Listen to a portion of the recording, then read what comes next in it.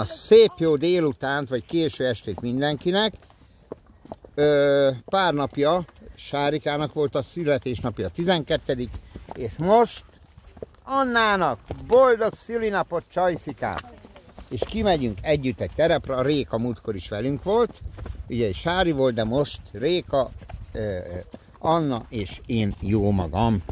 Megyünk ki egy terepre, elviszünk ezt a csoda kislányt, kis szorgoskát, azt sem mondom, hogy fan. Sziasztok! Hopp! Aha, na várj, ennek is. Várjál. Menj. Gyere, baba. Megyek én valahogy csak. Na, gyerekek.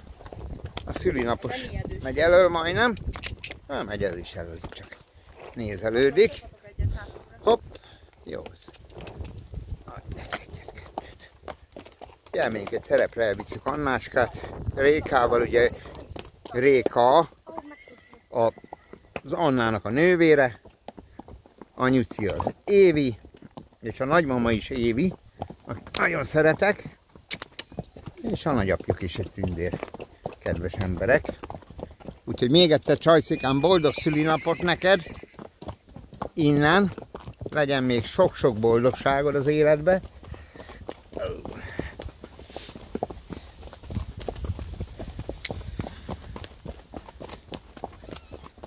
Úgyhogy elmegyünk el valahol. Hopp. Gyerünk babát! Megyek előre, jó? Hmm, mehetünk fej, mehetünk fej, fejt is tőlem, amit kedvetek. Anna, menjek mögött előtt? Várj, kisebbre lehetne venni ezt az izét. Aha, így jobb. Na így jó. A két testvér itt van mögöttem. Én elől. Jó nagy fejem lett egy, egy amikor uh, egyértelműen ez a fókusz szarakszik. Hogy? Vágta lovasiskolába vagyunk.